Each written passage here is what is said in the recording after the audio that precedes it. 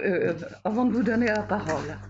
Parce que euh, vous allez me dire que euh, j'ai sabré la fête avec des allusions à des événements qui ont eu lieu bien après la mort de Jérémie. Dans le texte biblique, on a l'habitude d'une certaine manière, tant que le texte n'était pas clos, d'actualiser et d'introduire, comme dans un millefeuille, d'introduire des couches de commentaires qui n'ont rien à voir, rien à voir avec la, la, réalité présente. C'est très important pour nous parce que ça nous permet, si vous voulez, euh, de se dire, dans le fond, qu'est-ce que ce texte a à nous dire et de noter que des gens qui sont venus après, qui ont médité sur les, documents qu'ils avaient, ont jugé bon de relire la parole de Dieu à leur époque et donc de pouvoir l'interpréter pour essayer de comprendre la situation qu'ils vivaient. Et vous voyez que c'est quelque chose qui euh, est très intéressant pour nous aussi à notre époque. Alors, ce qui, euh, ce qui est, euh, doit être compris dans les événements qui sont annoncés, c'est-à-dire dans toute une série de catastrophes et de châtiments, en annonçant euh, que les différents peuples allaient, être, allaient subir des... J'avais même fait une photocopie, mais ça, ça on, perfectionnera le truc l'année prochaine euh, sur le Moyen-Orient pour montrer justement les problèmes d'équilibre. Mais enfin, on a suffisamment vu à la télévision. Vous savez où se trouve l'Égypte, vous savez où se trouve Jérusalem, Damas, euh, la Syrie, la Babylonie, la Mésopotamie, pour avoir une idée, si vous voulez, du théâtre. Euh, des chapitres 46 à 51. Et ce qui est intéressant, c'est que ces oracles s'adressent aux nations. Et derrière le mot nation, ce sont les nations païennes. Donc ce n'est pas Israël. Et, pourquoi est-ce que ces oracles sont retenus? Car Dieu est le Seigneur de l'histoire et les nations participent au jugement de Dieu, sont exécutantes aussi du plan de Dieu. Dieu agit au cœur de l'histoire et à cause de son élection, Israël, qui a un lien particulier avec Dieu, qui a reçu le privilège de nommer Dieu et donc de lui parler, et la révélation du Dieu unique, Israël doit reconnaître cette action de Dieu à travers les événements euh, douloureux et donc une vision de Dieu dont l'action déborde Israël et engage justement toute, toute cette partie du Moyen-Orient qui représente à l'époque tout le monde civilisé, toute la fine fleur de la civilisation. Et par conséquent, c'est une relecture continue, mais avec de nombreuses additions pour les adapter à une lecture historique du moment.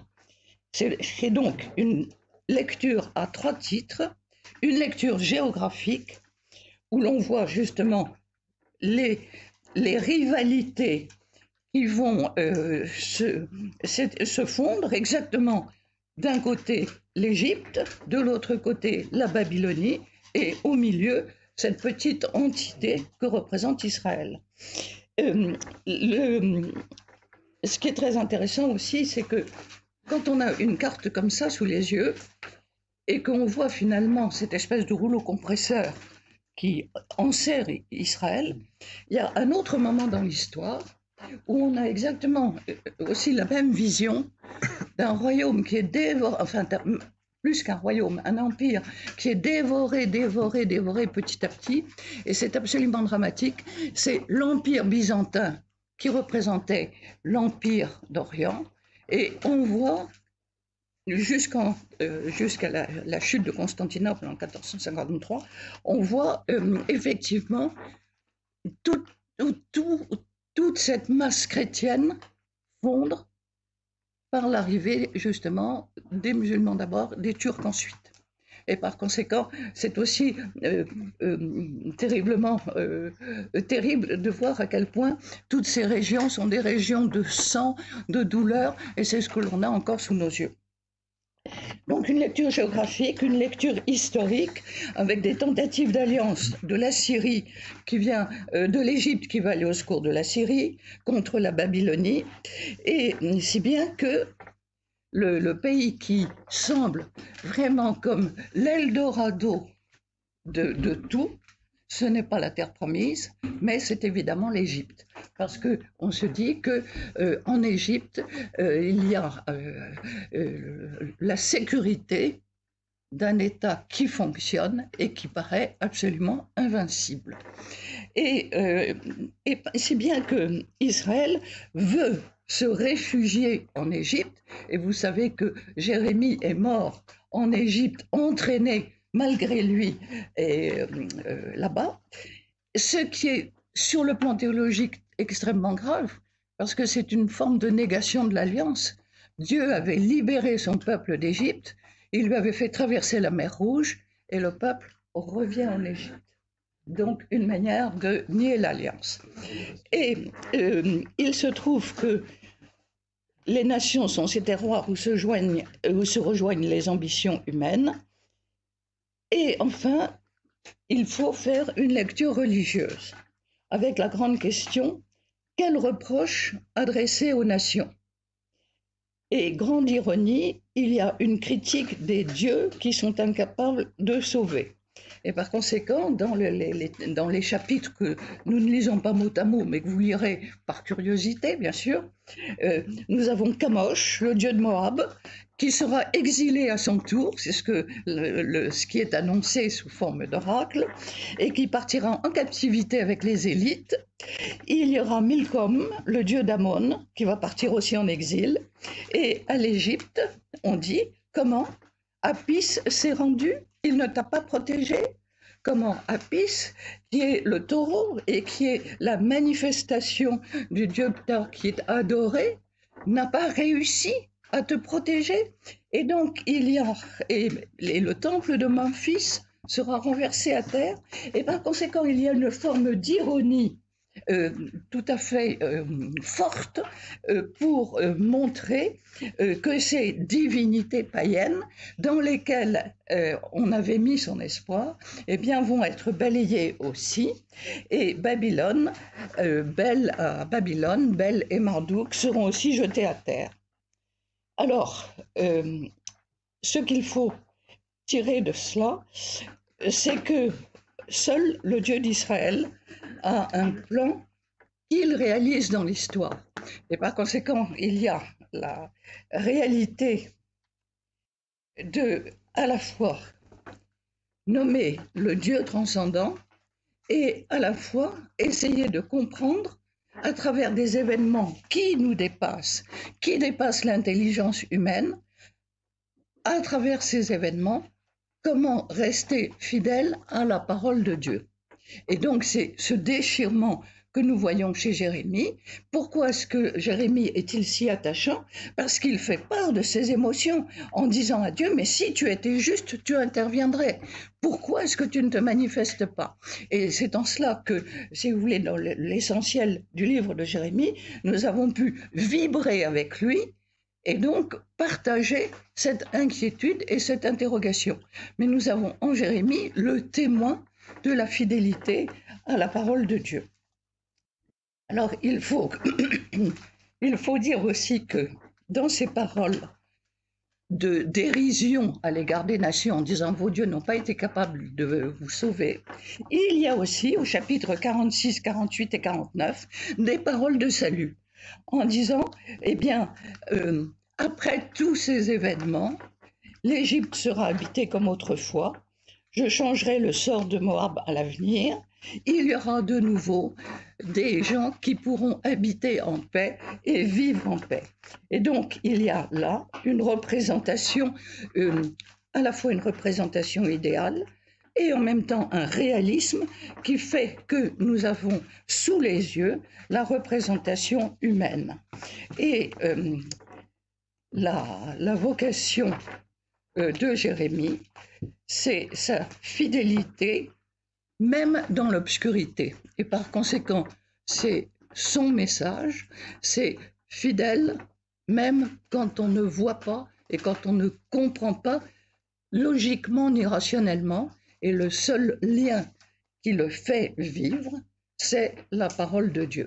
Alors, euh, euh, j'ai une de mes amies qui, m'a, qui a rapporté d'un voyage euh, en Roumanie une extraordinaire miniature, j'ai demandé qu'elle me, qu'elle me la donne, où on voit un, un ange qui représente le Seigneur et qui met dans la bouche, qui touche la bouche de Jérémie, j'ai mis mes paroles dans ta bouche. Donc, voilà la conclusion que je voulais faire.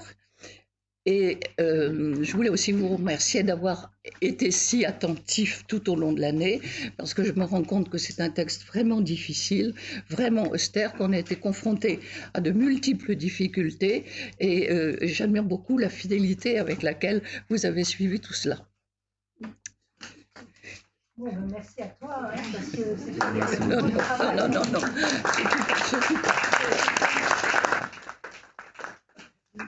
Alors, bah, Isabelle, vas-y. Bah, bah, justement, moi, j'ai fait un mot parce que public. euh, pour dire que justement, j'avais trouvé ces textes très difficiles à relire. Et que j'étais pas sûre d'avoir tout compris. Et c'est une litote. Hein. Mais en revanche, ça m'a fait bien réfléchir. Alors, j'ai bien noté qu'on avait été très souvent renvoyé par les textes de Jérémie aux événements actuels je comprends très bien. Trouve que même euh, on peut être envoyé pour des événements pour euh, maintenant. Hein. Mais ce qui m'a beaucoup frappé, c'est que euh, on voit beaucoup. enfin, moi j'ai ressenti ça comme ça. Hein. Je vous ai dit hein, que j'avais pas, j'étais pas sûre d'avoir compris. Donc je m'engage que moi.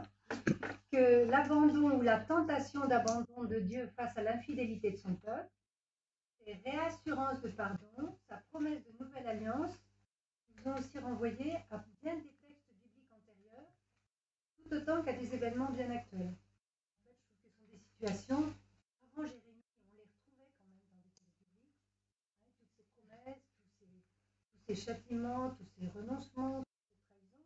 Tous les assassinats. Voilà, tout ça. Et, et, même les alliances, en fait, finalement, il y a beaucoup d'alliances. Hein, oui, oui. Qui sont annoncées, puis les alliances, elles sont interrompues par l'infidélité. Euh, hmm.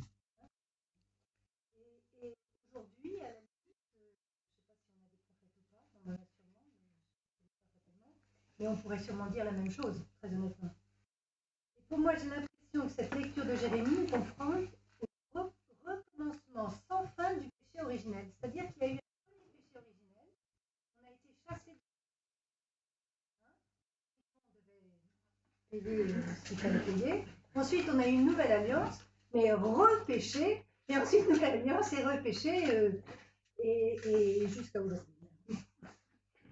Donc, euh, le recommencement sans fin du péché originel, et pour moi, c'est vraiment le bien et le mal qui ne cessent de s'affronter. On les appelle comme on veut. Alors, Jérémie nous parle de Dieu, vous êtes tous d'accord, hein créateur et sauveur, qui laisse son peuple libre de se détourner de lui et de succomber au mal, c'est-à-dire de ne pas respecter sa loi et ses commandements. Mais quand le peuple ne respecte pas sa loi et ses commandements, bien sûr, il le rejette comme étant infidèle. au final, il est toujours miséricordieux car il pardonne et donne sens à la vie de l'homme. Et en fait, comment il dans les, les paroles de texte de Jérémie et du Nouveau Testament, c'est qu'on écoute euh, de façon très différente les, les textes bibliques au moment de la liturgie, euh, matin, dimanche, etc. Cette année, cette semaine, il parlait d'Akab et, oui. Jézabel. Avec les, les, les assassinats. Fin, alors, Dieu et Agab se repent. Oui.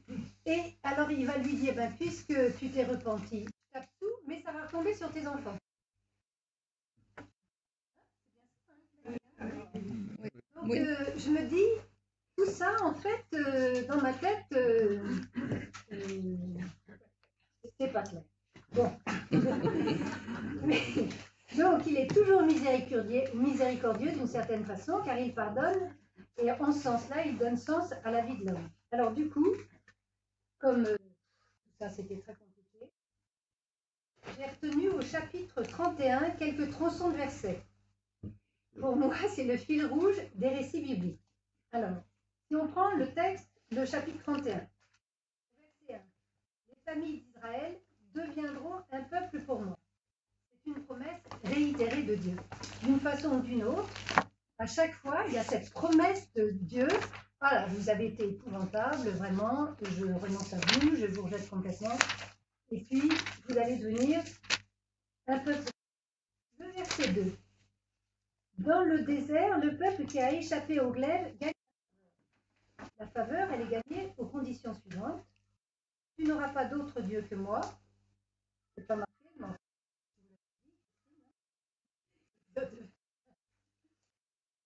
Et veillerez à mettre en pratique les lois et les coutumes que je vous ai fait entendre. Donc Deutéronome 5, 1. Donc autrement dit, c'est vrai qu'on est sauvé, on est sauvé, on est libre de faire ce qu'on veut, mais il faut qu'on sache que pour être sauvé, ben, il faut appliquer la loi de Dieu et suivre ses commandements. Et 3. Vous avez compris, hein, c'est le fil rouge. Hein. Je trouve qu'on trouve ça très souvent. Je t'aime d'un amour d'éternité. Donc, ça dit bien que Dieu a créé l'homme par amour. L'homme a créé par amour sans aucun effet de vous êtes grand, vous êtes beau, vous êtes fort. Au contraire, vous êtes le moindre des peuples. Donc, euh, c'est pour ça que je vous ai choisi. Et moyennant quoi La référence que tu avais donnée, Christine, Deutéronome 7.7.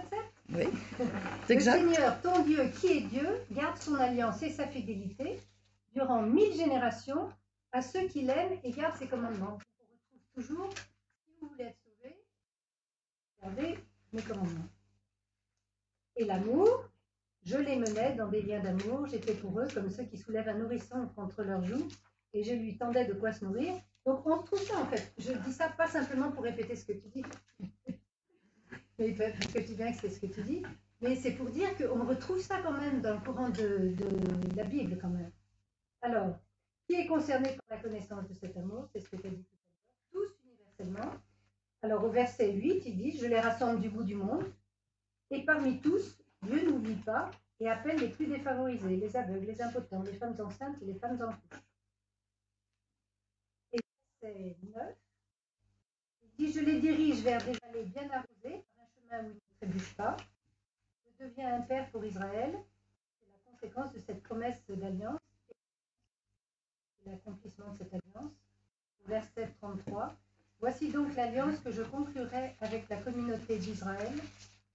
Je déposerai mes directives au fond d'eux-mêmes, les inscrivant dans leur être. Je deviendrai Dieu pour eux, et eux, ils deviendront un peuple pour moi. Ils me connaîtront tous, petits et grands. Je pardonne leurs crimes, leurs fautes, je n'en parle plus. Je trouve que, honnêtement, il y a des tas de trucs que je n'ai pas compris. Des tas de trucs que je n'ai pas compris. Mais je me dis que quand même, tout dans l'Ancien Testament, il y a ce fil rouge, en fait, qui va nous conduire au Christ. Oui. C'est intéressant. Bon, alors, je suis désolée, hein, j'ai peut-être fait un. Non, pas du tout. C'est tout à fait ça, puisque tu as magnifiquement conclu sur l'essentiel. Euh, je répète que euh, je déposerai mes directives euh, au, fond d'eux-mêmes, les inscrivant. Alors, c'est plus pour la top a une très mauvaise traduction, parce que c'est pas le verbe être, mais c'est dans leur cœur. Hein, un cœur de chair, et ça reprend les paroles euh, d'Ézéchiel, je vous donnerai un cœur de chair qui soit capable d'aimer, et je retirerai votre cœur de pierre. Bon, ben alors on, fait le tour?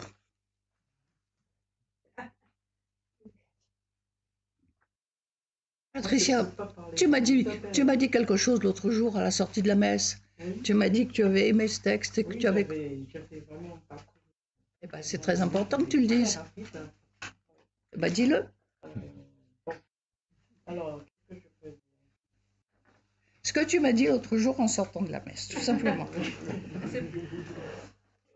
Alors, j'avais compris que tout au long de sa vie, il a essayé de rappeler le peuple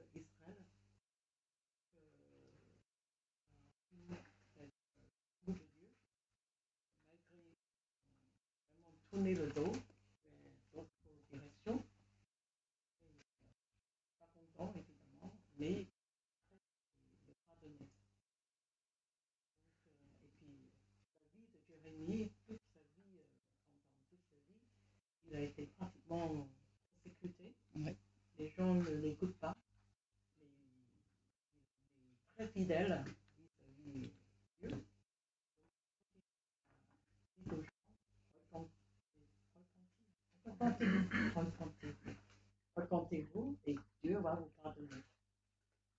Quand ils sont vraiment perdus euh, Israël, euh, pris prisonniers, Dieu est toujours là, à le pardonner, le sauver de,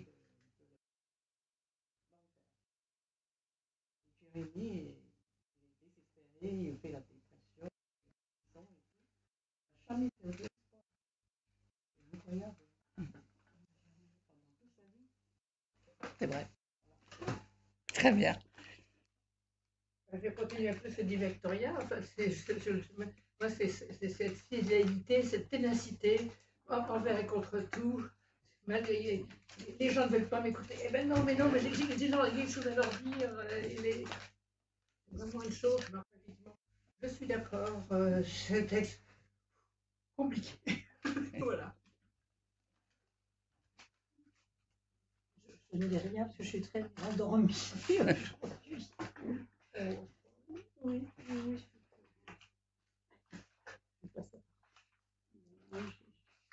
Je avoir du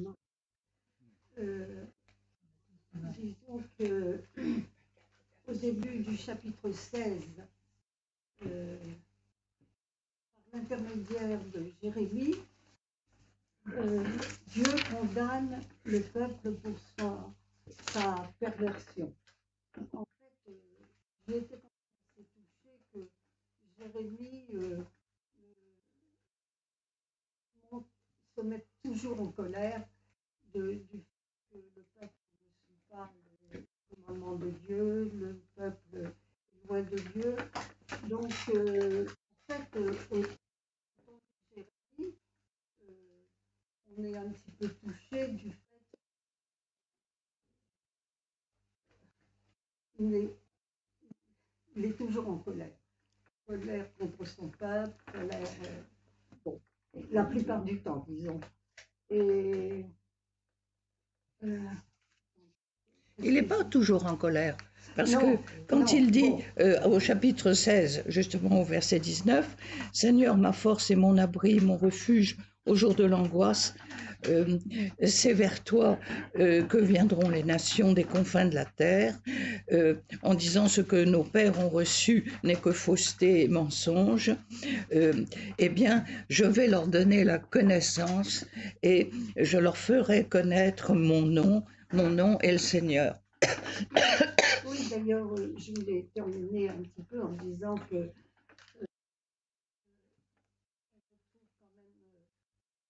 les, psaumes 1 et 40, euh, que il, euh, attendez, qu'est-ce que j'ai marqué Je me souviens.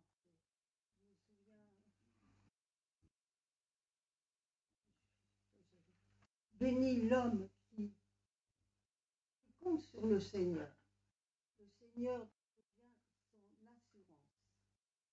Mais c'est très rare quand même de lire ça dans, dans Jérémie.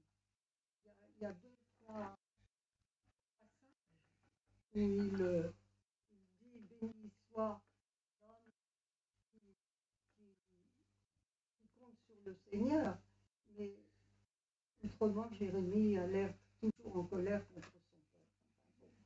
Mais vous voyez, le Seigneur, euh, il euh, euh, quand Dieu lui dit, je fais de toi un rempart de bronze, face au roi, face au ministre, face à la police, face à la foule, je fais de toi un rempart de bronze. L'image, elle est très concrète, elle est très réaliste. Je trouve que c'est, alors, je transpose dans un langage catholique et théologique. non, non, je vais. euh, euh, pour moi, c'est l'image de la grâce. C'est ça l'image symbolique. Je fais de toi un rempart de bronze, dit, Jérémie, euh, dit Dieu à Jérémie. C'est-à-dire, je te communique ma force. C'est une image, c'est un symbole, c'est une illustration. Et si vous voulez, comment comprendre concrètement une parole comme celle-ci Moi, je la transpose de la manière suivante. Je te donne ma grâce pour t'aider. Et parmi les dons de l'Esprit Saint, euh, esprit de sagesse, de conseil, de force, de connaissance et de crainte du Seigneur. C'est juste? La un rempart, de Dieu. Mais il faut être euh, simplement grâce. C'est une comparaison poétique, symbolique, Oui, oui. imagée.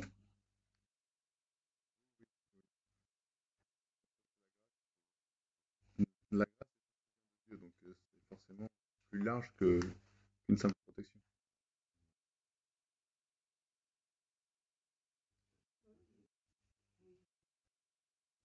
On retrouve le thème des psaumes 1 et 40.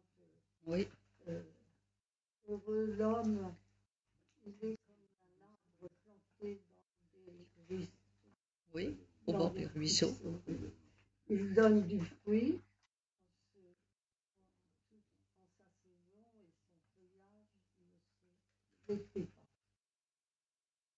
et il réussit tout ce qu'il fait. Et il y a aussi le psaume 40.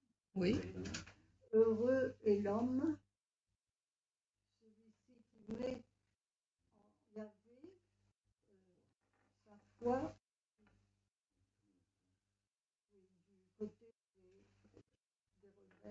et du le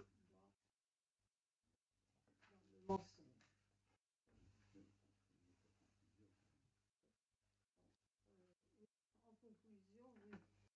Euh, en conclusion, je désire que son peuple revienne à lui.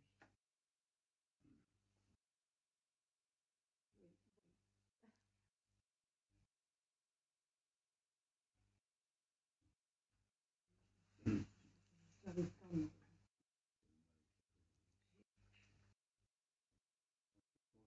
dans cette étude que nous a demandé de faire Christine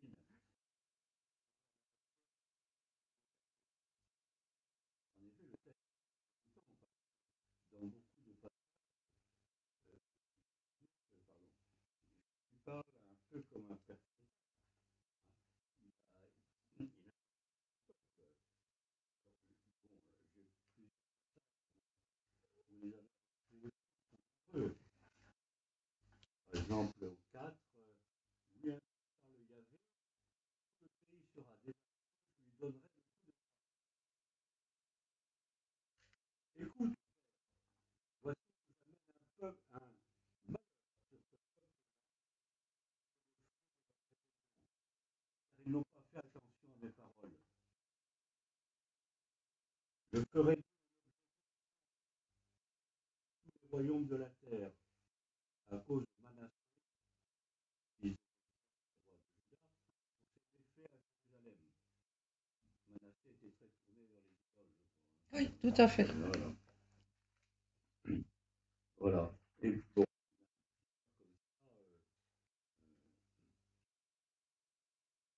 alors, euh, je ne vais pas m'attarder trop longtemps. Alors, euh, le texte euh, est dit entendre euh, Dieu euh, parler de cette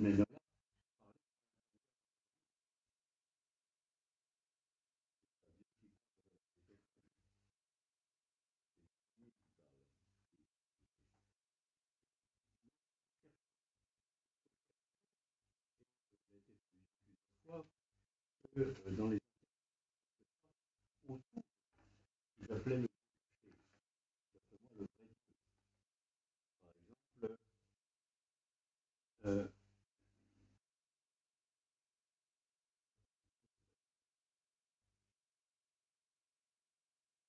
le nous,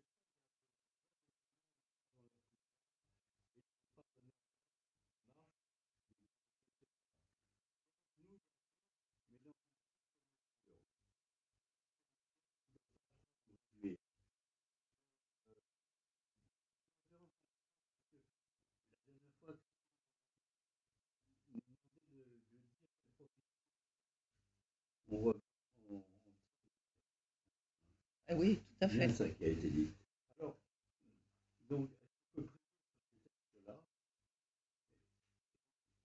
Je préfère prier sur le où il est dit Yahvé ne me chasse point de sa colère, ne me reprend point dans sa fureur.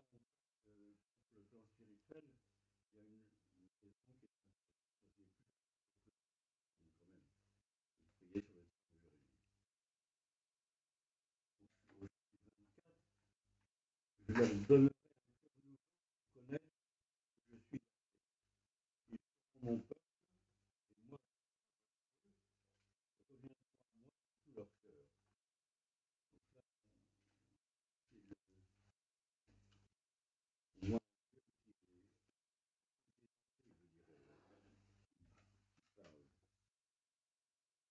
il y a le 31-31, mais euh, donc, euh, Isabelle en a parlé, aussi venir de jour, etc. On pourrait aller en tout. Ça aussi, c'est c'est très beau comme texte. Alors, il y a- au chapitre 32, hein, ça, ça m'intéresse. Je vais les rassembler de tous les où je les les,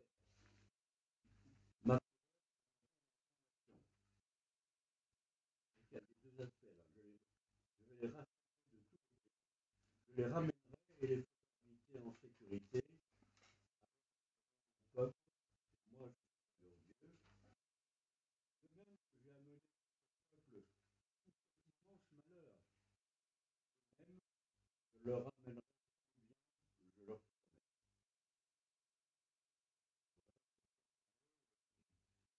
promets. Chapitre 33, voilà.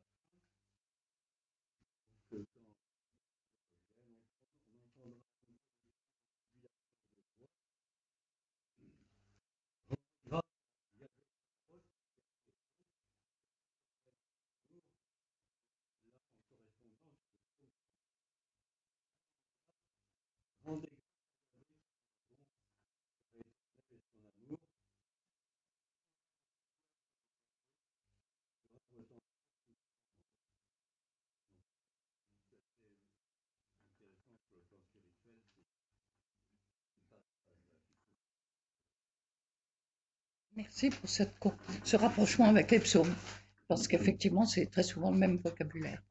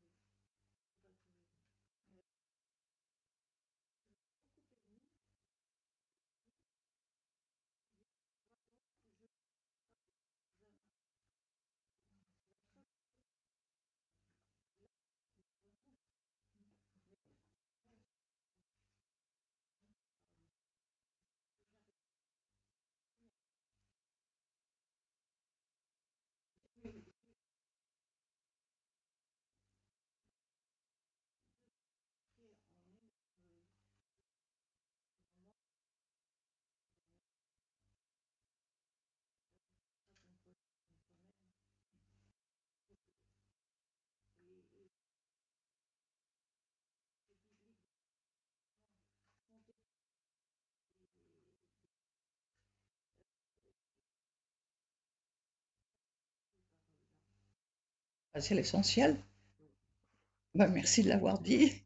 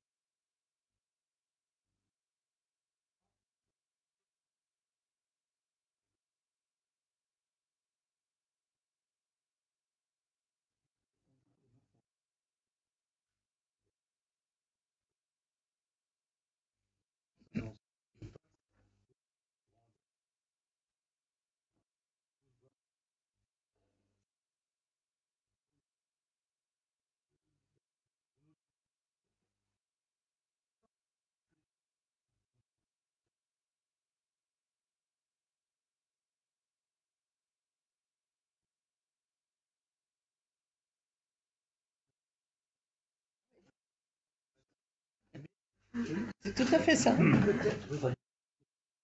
Voilà.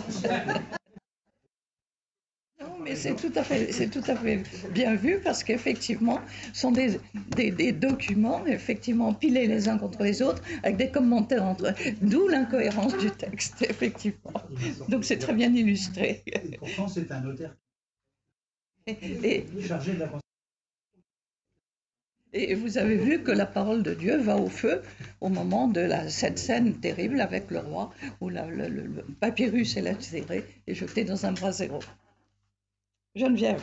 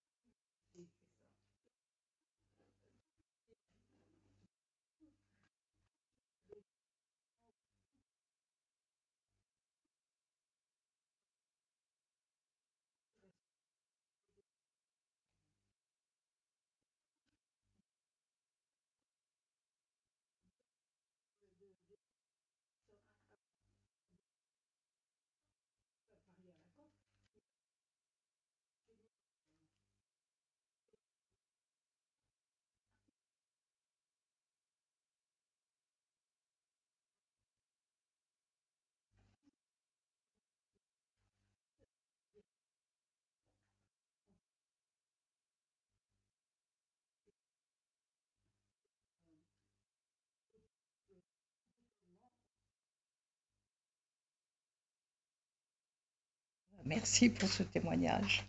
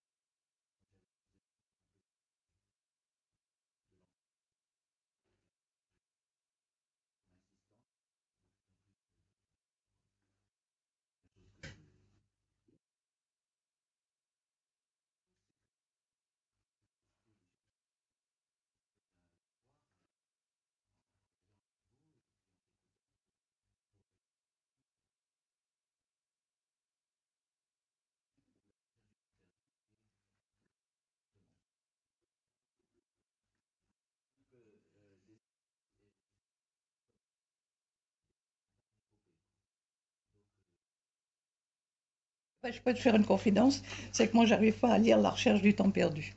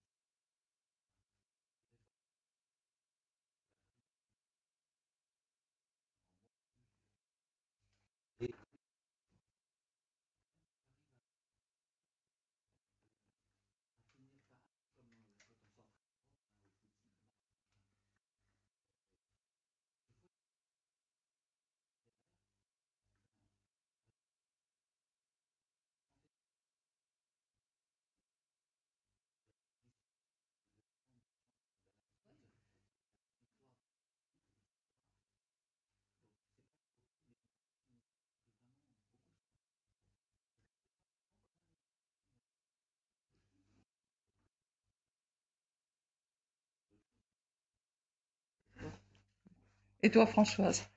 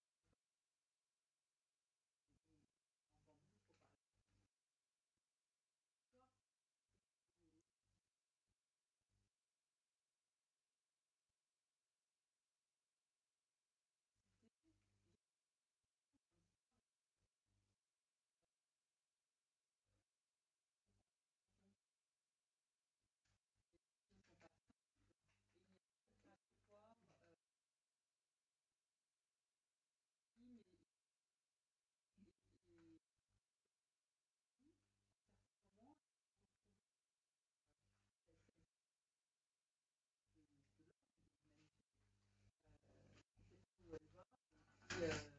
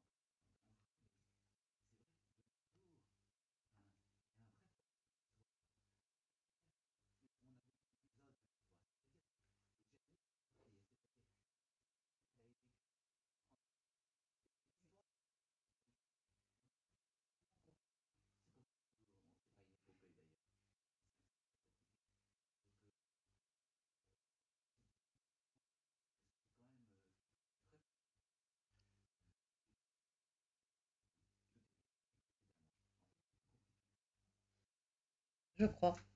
Marie-France?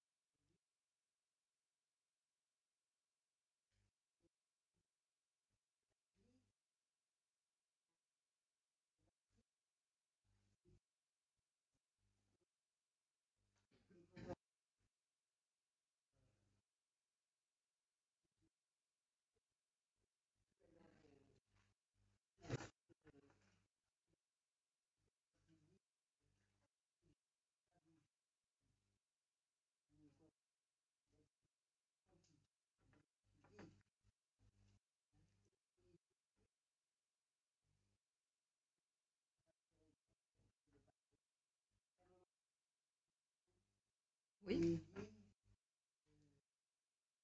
Citernes, les citernes, les citernes fissurées qui ne retiennent pas l'eau. Et puis à un autre moment, il parle de l'eau vive, effectivement.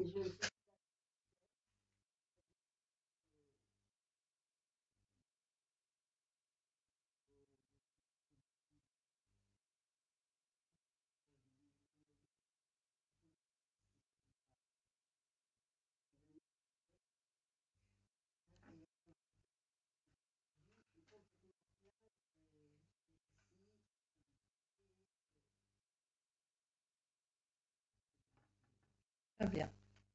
Et Robert? Euh, Moi, j'étais très content de, de plonger dans le, dans l'événement parce qu'en fait, je pense que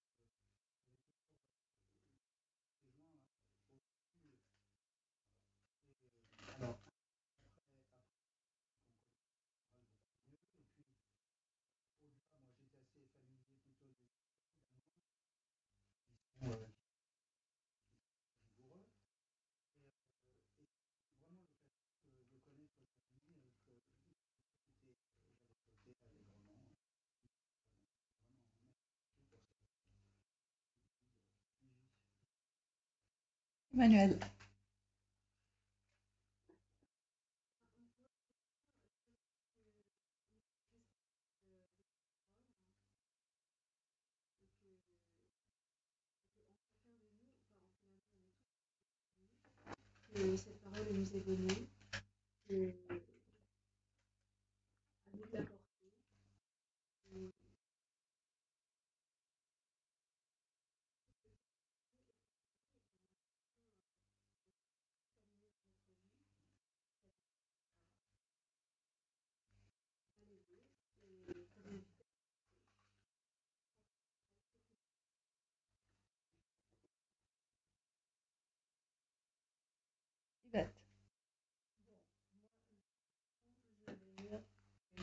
de solitude,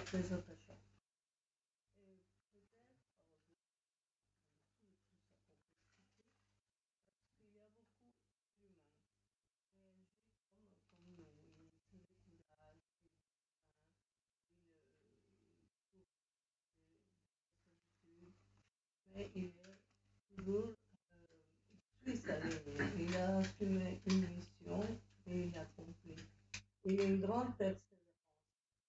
Et donc, je pense que peut nous suffire d'exemples comme se retourner à lui, quand on est découragé. Parce que lui, il- dans tout ce découragement, il ne fait pas la ligne. Il continue, malgré tout.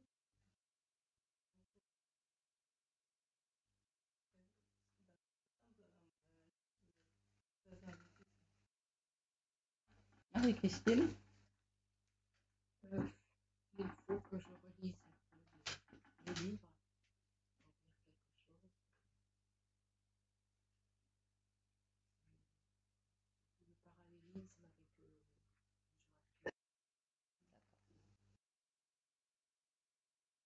avec euh, le. Et Marie-France? Non, en fait, euh, il y a des, des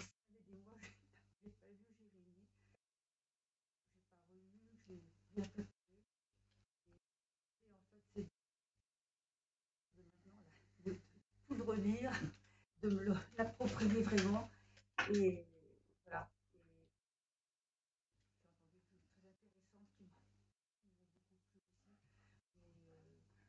Et je ne pourrais rien vous dire de, très intéressant maintenant.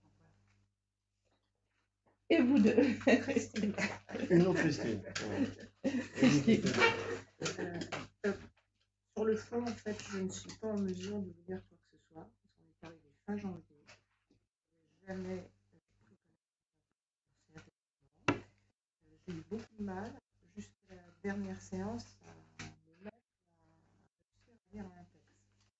Pas du tout le type de, de document que j'ai jamais abordé. Très. Et euh, du coup, le fait de ne pas avoir suivi régulièrement, ça n'a pas facilité non plus. euh, Non plus.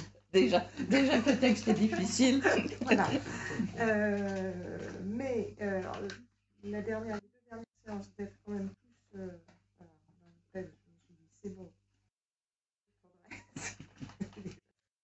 Et euh, les parallèles avec, euh, parce qu'on quand même on connaît, euh,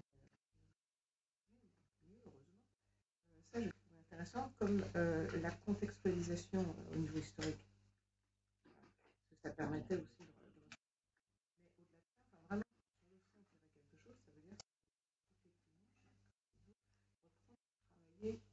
le texte. Voilà. En fait, le travail qu'il faut faire, euh, c'est il faut finalement réécrire le livre pour euh, le rendre accessible et pour pouvoir l'expliquer à chaque fois. Alors j'ai été à la procure et j'ai trouvé un dans y a de l'évangile. Euh, il y a livre, un oui. numéro sur le livre de Jérémie. absolument extraordinaire. C'est Voilà. le top du top. Et euh, j'ai Et- commencé à m'y mettre, mais et- et- euh, tardivement. hein, Voilà, alors euh, c'est absolument, c'était, c'est c'est- c'est pour mon professeur de la Cato. Ah oui.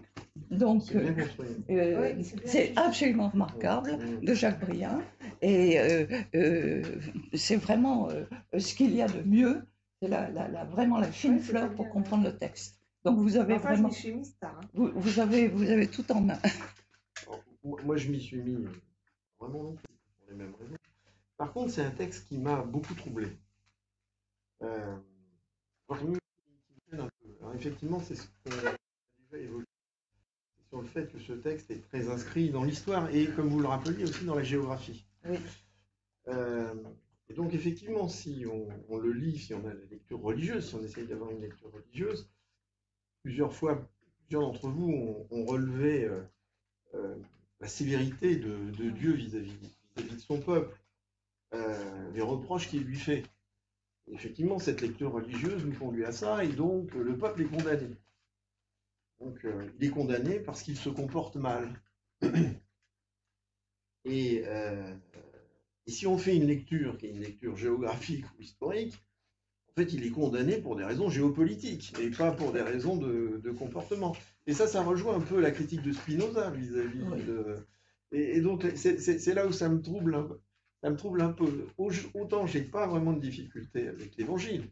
Mm. L'Évangile est un texte d'amour, c'est une histoire. euh, euh, autant quand on rentre dans, dans l'Ancien Testament, il y, a, il y a des textes très très très différents. Euh, Job l'année dernière, on voit aussi cette violence. On dit, c'est très surprenant de faire souffrir un homme comme ça euh, pour démontrer quand même son, son attachement. Là, on dit, on, on- on condamne un peuple. Alors on le condamne parce que parce qu'il se comporte mal, mais comme tous les autres peuples. Donc euh, les Babyloniens pas mieux que les que, que- que les que les Égyptiens. Et alors certes, c'est un peuple qui a une, une- vocation qui est un peu différente des, autres, mais mais, du coup euh, du coup, je trouve que ça affaiblit la portée religieuse parce que en fait, si on a une lecture rationaliste, on a une lecture historico-géographique. Cette lecture historico-géographique fait que de toute façon, euh, euh, la, Judée est, condamnée. Entre l'Égypte et la Mésopotamie, historiquement parlant, c'est un peu comme l'histoire de la Pologne entre la Prusse et la Russie. Euh, voilà, quels que soient les torts, de- quels que soient les torts d'un peuple, il y a des, il y a des, raisons euh, géopolitiques fortes qui font que quand on est coincé entre des empires, c'est les empires qui quel que soit euh, le, comportement euh, coupable ou non euh, des peuples, euh, des petits peuples. Et alors, effectivement, si on en fait une lecture aussi, euh, une lecture qu'on veut se projeter dans, le présent, peut penser aussi à- au sort à venir de l'Europe, peut-être.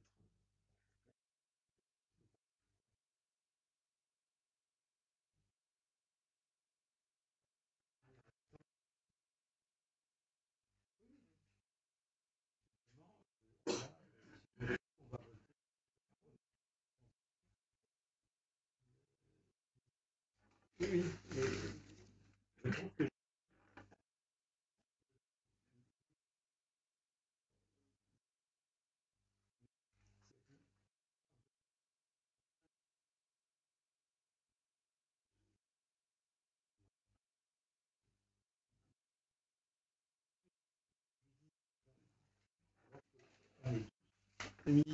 non, ce qui est vrai, c'est qu'il y a une dimension morale qui apparaît. Et, et à la limite, Jérémie est un, a quelque chose de sympathique.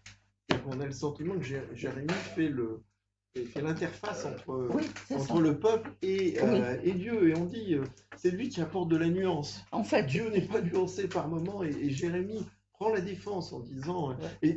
Et, ça, il a, il, a un, il a un côté très sympathique. Moi, j'ai trouvé le personnage, euh, personnage est plaisant, si j'ose dire, parce que euh, parce qu'il il- est positif. Il est- et, et, euh, et on le sent, il est, il est malheureux. Oui. Mais, mais c'est un peu comme Job, il n'abandonne pas. C'est-à-dire Voilà, c'est ça. C'est quelqu'un qui n'abandonne pas malgré la difficulté et, et à chaque fois, euh, malgré les reproches qu'il a vis-à-vis de Dieu, comme Job. Oui, tout à Comme fait. Job. Et ça, c'est quelque chose que je trouve intéressant. Je voudrais discuter avec toi pourquoi les méchants réussissent-ils? Et pas, et pas les bons. Ouais.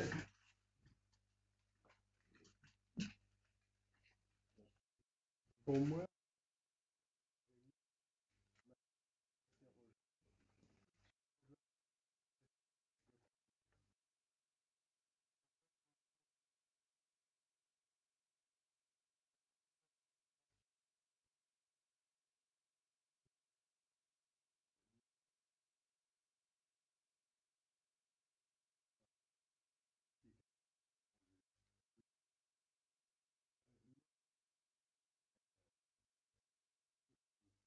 et on peut aussi les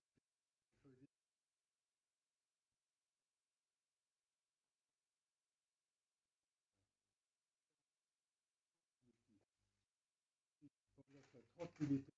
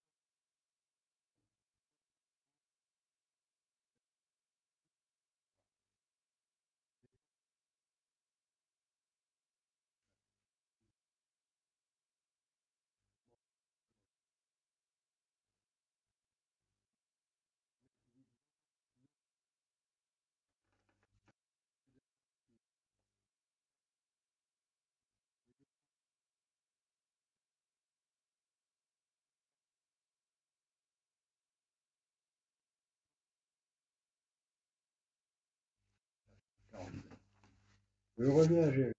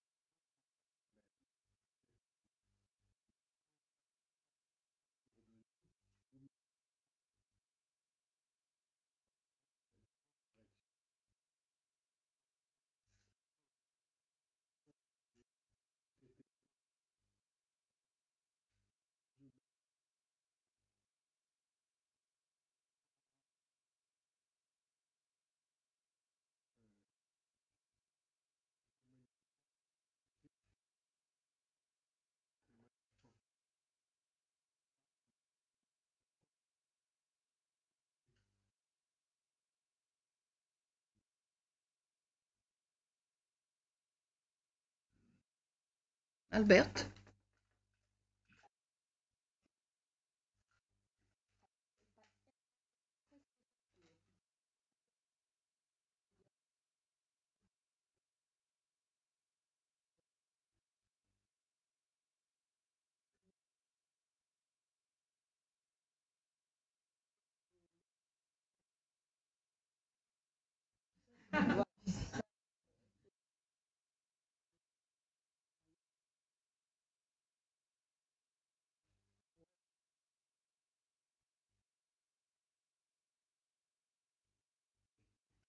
Bien. Monique?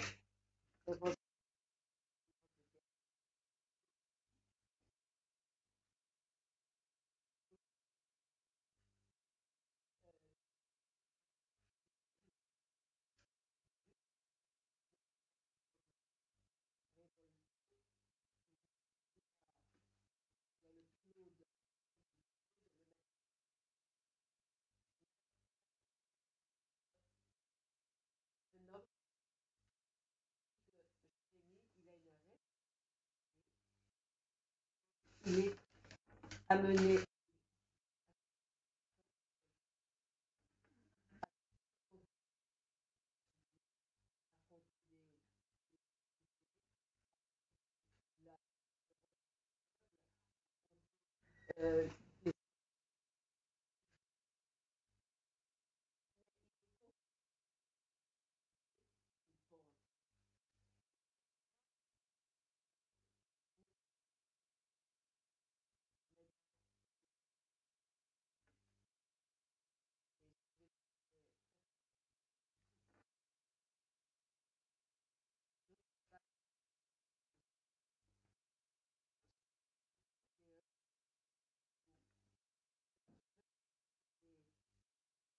de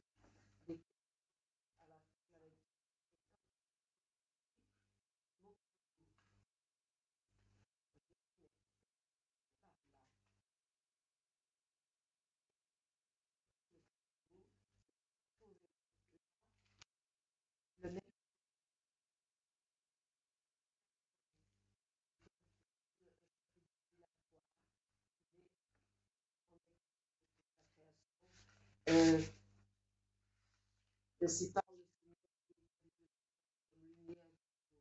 la lune et les étoiles comme lumière de la nuit. Et notre, notre commence par Je crois en Dieu, le Père Tout-Puissant.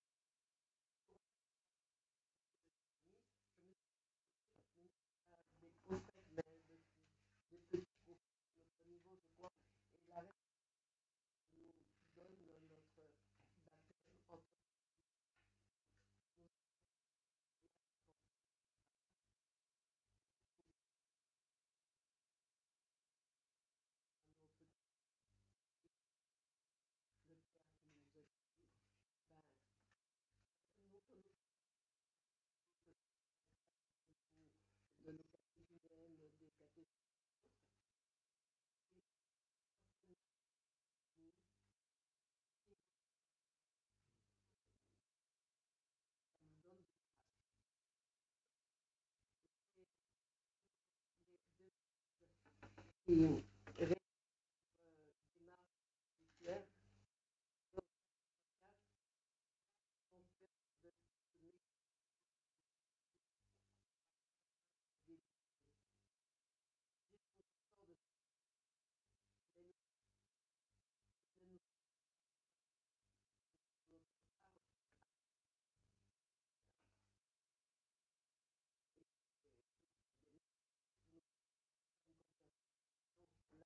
de toutes les choses. C'est tous les jours que nous avons à faire.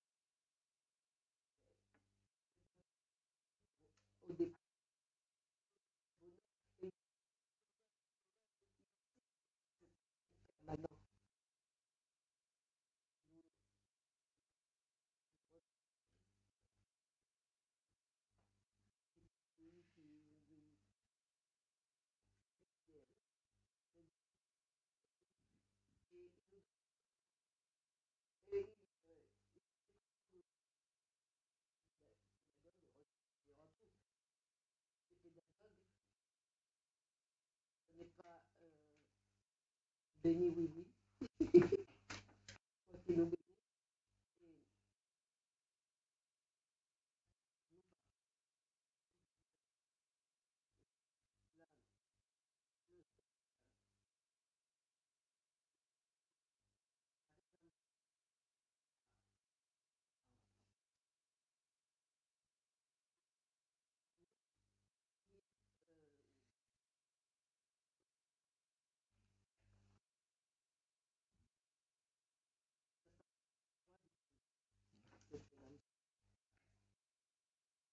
walking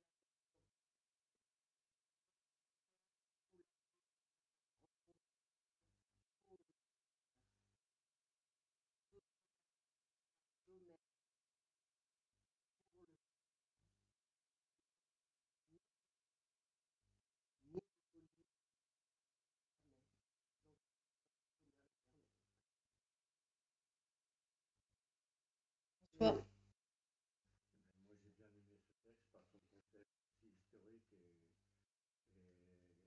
des rapprochements avec l'actualité. Mais j'ai bien aimé Jérémie qui, apparaît quand même comme un pasteur dans les, les plus grandes difficultés et dans son dialogue avec euh, Dieu. Et c'est là où on voit que euh, c'est quand même, euh, on y trouve quand même des paroles d'espérance. Et il y a beaucoup d'images qui sont quand même très, très importantes, euh, comme l'enfant, la parole dans, dans, ma- dans ta bouche. euh, euh, c'est vrai que peut-être que nous saurait l'écouter de telle façon que on puisse. euh, mais c'est quand même un, un livre qu'il faut relire. Il faut, parce que il y a trop de choses pour que ça soit. euh, euh, euh, il faut, faut relire par morceaux.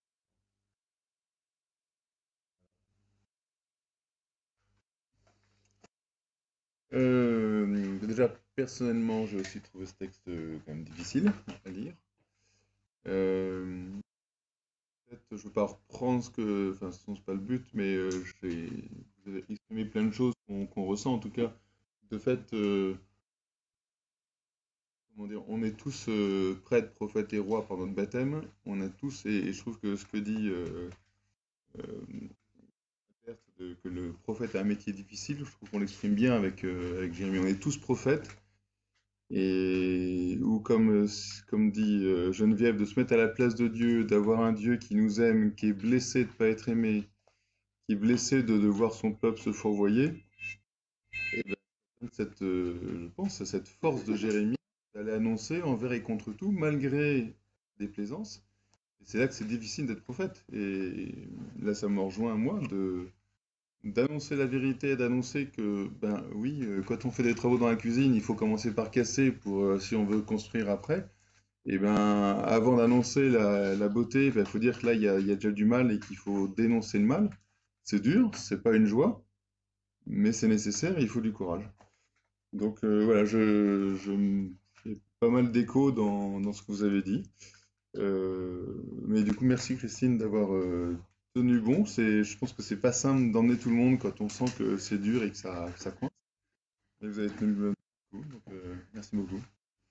Euh, je vais vous dire, euh, euh, c'est une période très difficile de ma vie, vraiment très difficile. Je me suis accrochée désespérément Jérémie. Voilà, c'est pour ça que je voulais vous le faire partager. Car il m'a beaucoup aidé, il m'a énormément aidé, et plusieurs fois euh, j'ai médité cette parole, euh, euh, je veux ton bonheur. Qu'est-ce que cela voulait dire? À un moment J'étais tout à fait désespérée. Et ce texte, j'y reviens très souvent, mais si vous voulez, sur le plan spirituel, ce qui est intéressant, nous, en avons fait une lecture continue avec toutes les difficultés que cela euh, suppose, de l'incohérence du texte. Mais je pense que sur le plan spirituel, ce qui est important, c'est d'en détacher des passages qui spirituellement peuvent nourrir notre prière. Et c'est ça ce qui compte. C'est à l'intérieur du texte prendre quelques versets et quelques versets qui sont particulièrement éloquents, en particulier quand il est seul à seul avec Dieu et qu'il est dans sa prière personnelle. Parce que il y avait donc tout le côté euh, historique et politique qu'il fallait bien affronter, mais nous, dans notre prière personnelle, c'est comme ça qu'il nous apporte quelque chose, rejoignant ainsi tout à fait le vocabulaire des psaumes. Voilà. Oui, bien sûr.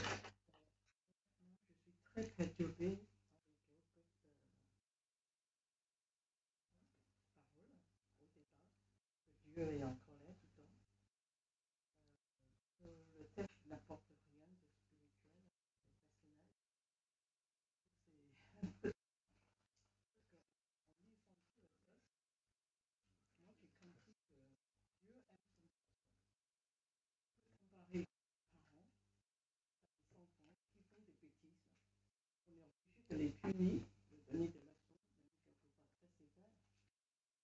de se calme, les parents sont toujours là. Jésus a dit mon père. Ah, Nous, on dit mon père. Dieu, c'est comme notre père.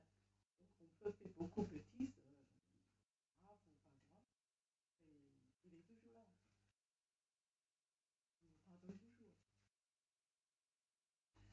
Alors, après cet effort qui a été quand même très lourd des années précédentes, nous avons, depuis que vous êtes là, on a lu ensemble Isaïe, le, deuxième Isaïe, l'année dernière le livre de Job, et cette année Jérémie.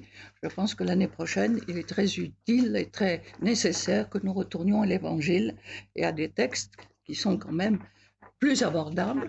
Et je vous propose l'année prochaine la lecture continue de l'Évangile de Marc, qui sera notre base de travail, mais avec l'Évangile de Marc, nous comparerons, euh, quand Marc dit quelque chose, nous verrons comment Luc et comment Matthieu disent la même chose, enfin, euh, euh, oui, disent la même chose, mais autrement.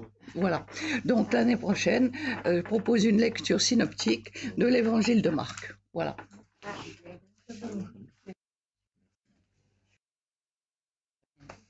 Eh propose de terminer par un autre Père, c'est l'évangile du jour, et puis euh, Victoria nous.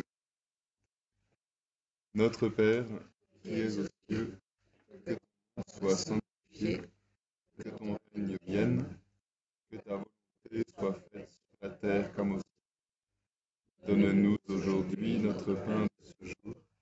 Pardonne-nous nos offenses, comme nous pardonnons aussi à ceux qui nous ont offensés.